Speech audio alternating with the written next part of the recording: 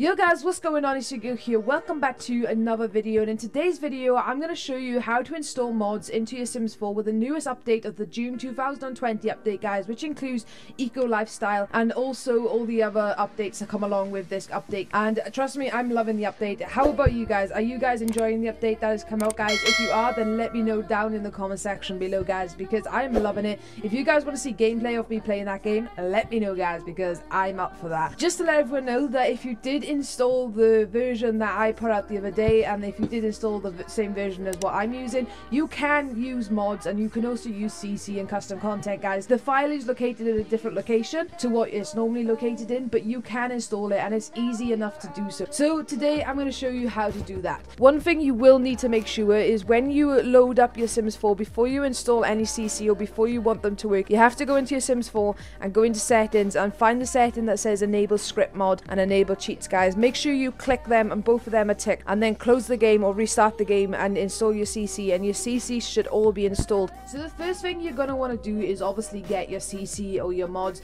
Guys, to do this, I use a site called The Sims Resources. I also know a lot of other sim players who use this website and it's it's awesome, guys. There are hundreds and hundreds and hundreds of things on this website, guys, from Sims 4 to Sims 1 as well, guys. If you are playing any of the Sims, then you can go in here and get custom content for any of these Sims, including mods guys they do have mods. You can search stuff you can have an account and you can also pay monthly where you can just add stuff to basket. And then you can extract it all as a zip file instead of trying to install each and every single individual item guys. It saves a lot of time. So just to let everyone know that that is an option but you can use this site guys. There's also plenty of other sites out there but i'm just using this one for a example guys. So to download something that's all you need to do if you don't have an account that's all you need to do to download something guys is go on to the item that you want to install. For example, I want to install this right here.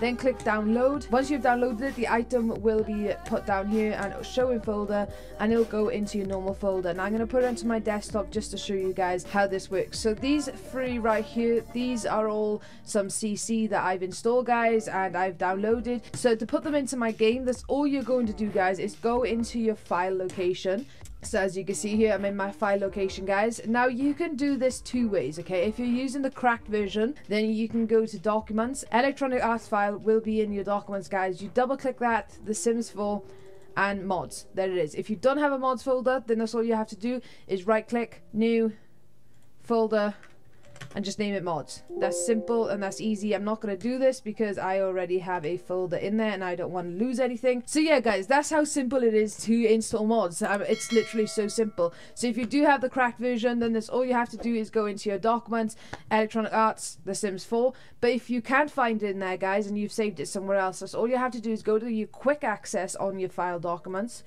in, in your file explorer guys and type in Electronic Arts and it should come up and it'll be right there guys under sims 4 and your mods folder is right there.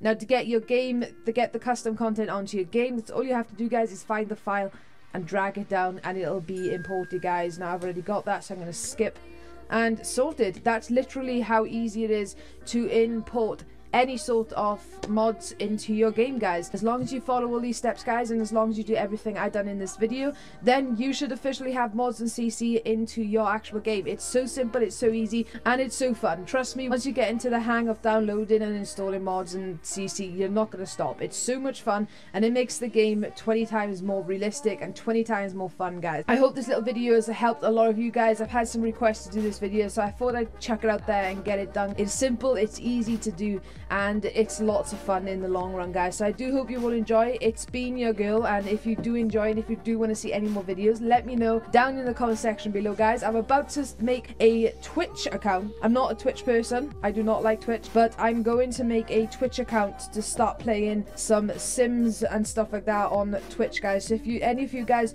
do want to come over to my twitch account let me know and um, we can play some Sims. I'm going to be completing or trying to complete the eco lifestyle quest, guys, and uh, try and make my town in Sims a healthy town to live in, guys. So if you want to see that, then head over to my Twitch. Once I've made it, I will link it down in the comment section or in the bio. So guys, if you want to see any videos on my YouTube, such as any sort of Sims tutorials or how to plays or let's plays, then let me know, guys, and I'll do them as well. It's been your girl. It's been fun making this little video for you. I'll see you all in the next video. Peace.